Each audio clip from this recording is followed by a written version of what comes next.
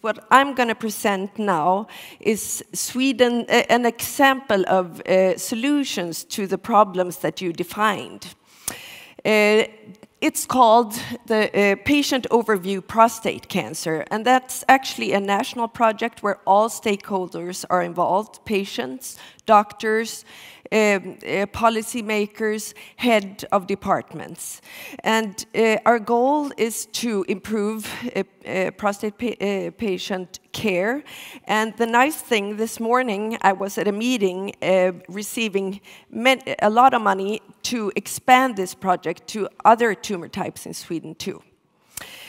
I work as a clinical oncologist uh, in Gothenburg on the west coast of Sweden. I'm a total prostate cancer nerd, and even if you're not cancer nerds, everything that I'm going to describe today, uh, you can apply also to, to other tumor types.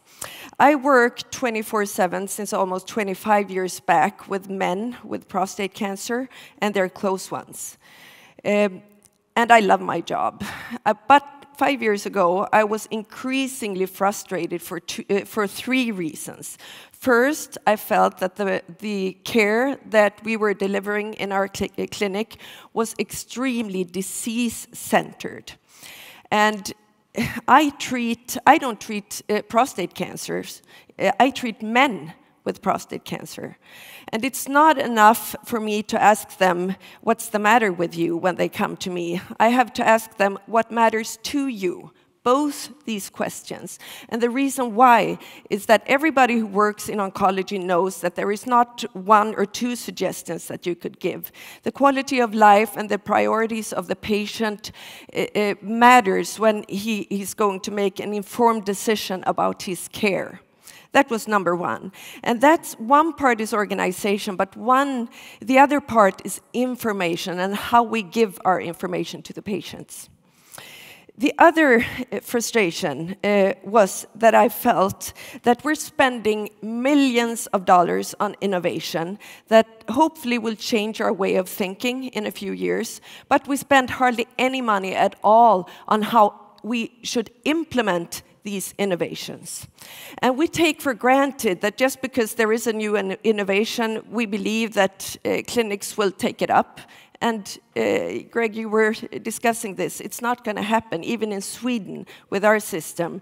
It's, it takes a long time to implement new innovations.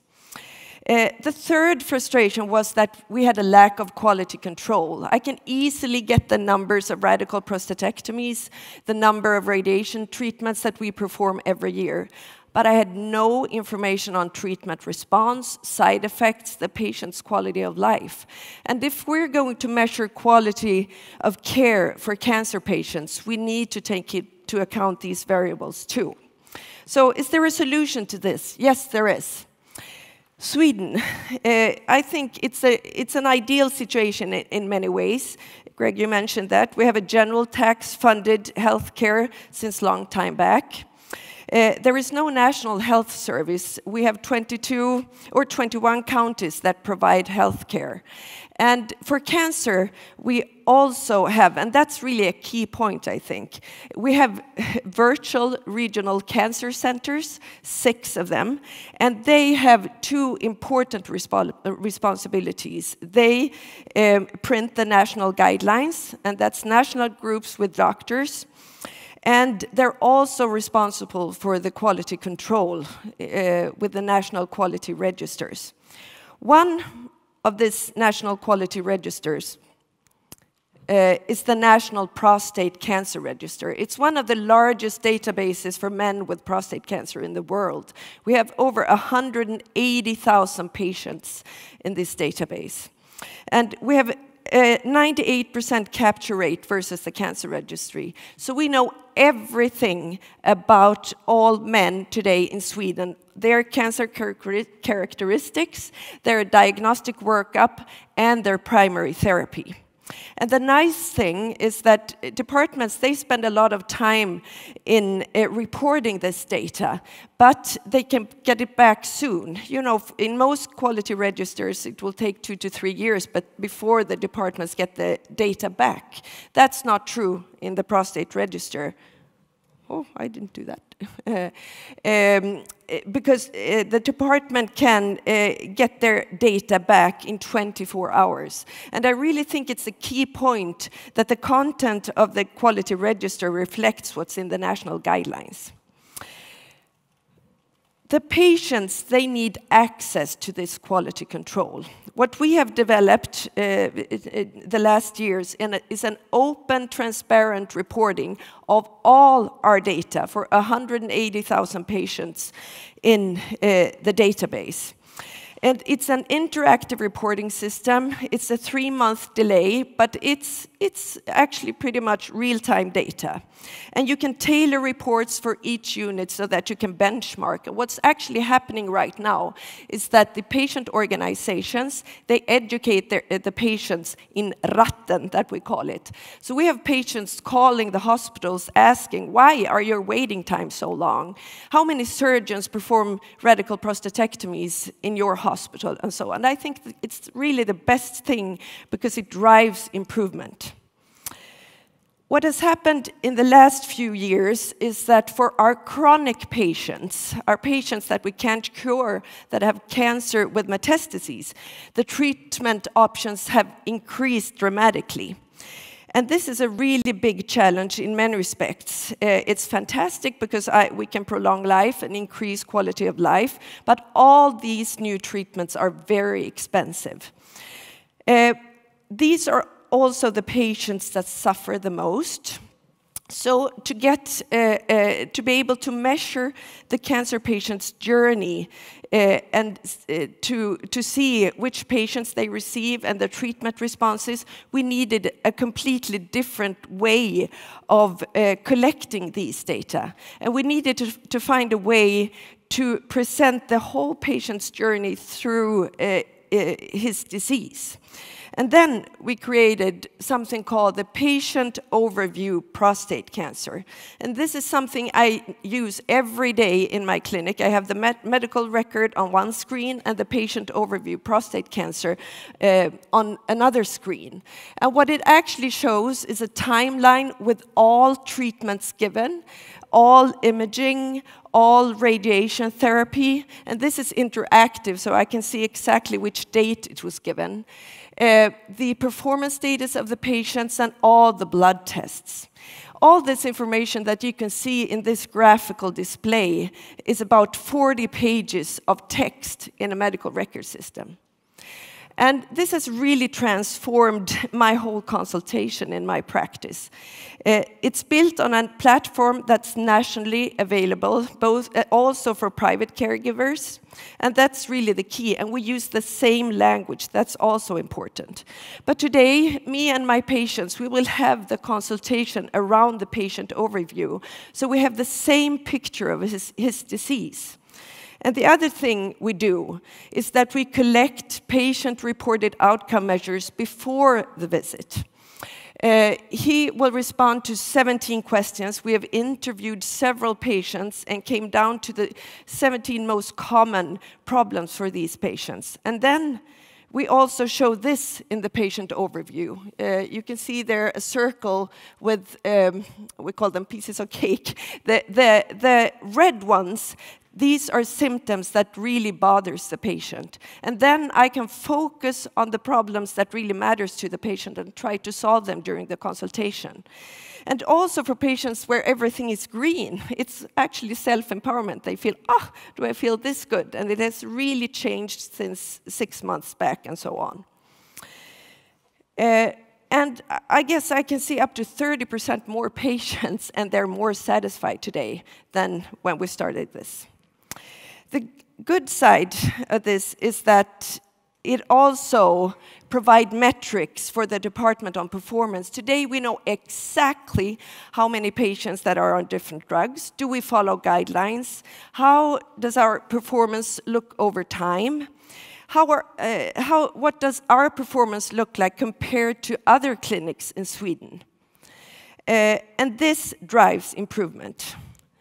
We can also look at treatment patterns on a population-based level, and this is pretty unique, I think, for Sweden. And the policymakers, the ones that are going to, to uh, pay for all these new treatments, they are extremely interested in this information. And the pharmaceutical industry, of course, this is real-world data. And there are few places, I think, in the world where you can get this kind of data. And also for the patients. Uh, one important thing, of course, is that when we get population-based data in this way, we can do fantastic observational studies. And it, there is something I call the cancer patient's yoke. As a cancer patient and for their close ones, they often wish that the scientific evidence that we have today would be like it is in 15 years. And that is a frustration most people, uh, most patients handle that uh, by asking, can I con contribute my data so that it uh, can be better for patients in the next 10 to 15 years, or can you put me in a randomized trial? What we're trying to use the patient overview now is to increase inclusion into clinical trials, because since it's, the data is systematically put into the system, then we can match inclusion criteria and hopefully get the system to recommend this patient could be uh, included in this and this trial. Because today, it's uh, depending on if you're in a university clinic or the doctors you're seeing, and that's not okay. So what do we think about the future? I think my whole role as a doctor is changing right now. A lot of doctors feel threatened by the new digital technologies. I don't. I think we should embrace them. I am used uh, to practicing uh, evidence-based care that we uh, put into the national guidelines. But what we recommend there is all the recommendations are on a group level. And the patient that comes to my clinic, he's not interested in knowing that you have a 10% less risk of dying in three years. He wants to know, am I going to survive until next summer so that I can uh, join at my uh, grandchildren's uh, uh, wedding? Or is it worth taking a loan for a new car? And to get uh, um, to, to be able to give him that kind of information, we need precision medicine precision medicine and biobanking is fantastic, but if we don't connect it to systematically collected clinical data, it's difficult. And this system can do that. And then maybe finally we will get uh, artificial intelligence and like Dr. Watson and so on. But I think there, uh, some people think that uh, the doctor's role will disappear. I don't. But I think uh, I want to take a part in developing this. And just the last uh, slide. Uh, our patients, just as everybody has said today, uh, their role is also changing from a passive object to an active subject, and that's really good. Uh, patients, they want to give us information on their symptoms and quality of life. It has even been proven now in randomized trials that patients that can give us this information, they've increased quality of life and they feel better. Uh, and they, and they sur survive longer. They want to have quality control. They want to know what we're doing and what we're not doing. Uh, and actually, they own their own data. This uh, patient overview, prostate cancer, what we do today is to, to uh, use a printer and put it on paper, but in very close time, people will go into um, uh, our uh, national system and reach all the information. They can do it today with all the medical records, and they will be able to do this with the patient overview too. And finally, they want to con contribute to research, and I think this was, will facilitate it, it in, in a, a, good way.